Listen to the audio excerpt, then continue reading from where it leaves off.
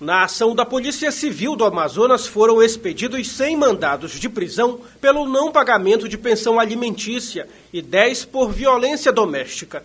Essa é a segunda operação Cumpra Seu Dever. A primeira foi realizada em dezembro do ano passado.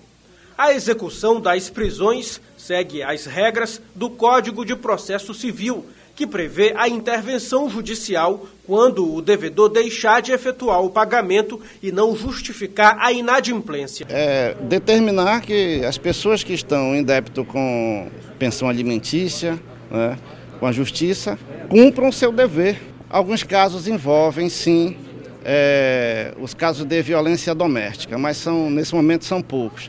Nós estamos trabalhando mais com uh, o inadimplemento do pagamento de pensão alimentícia.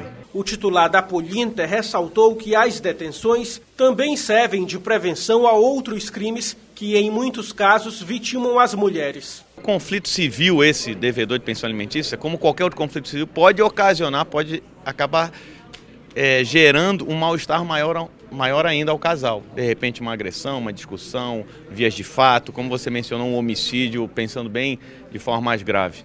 Com relação às pensões, os presos terão um prazo para regularizar os pagamentos. Os que não fizerem permanecerão na cadeia pública.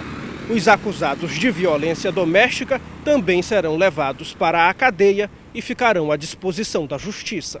Um mandado por atraso de pensão alimentícia era para um cabo da Polícia Militar mas durante a operação se descobriu também um mandado de prisão em aberto por homicídio no nome dele.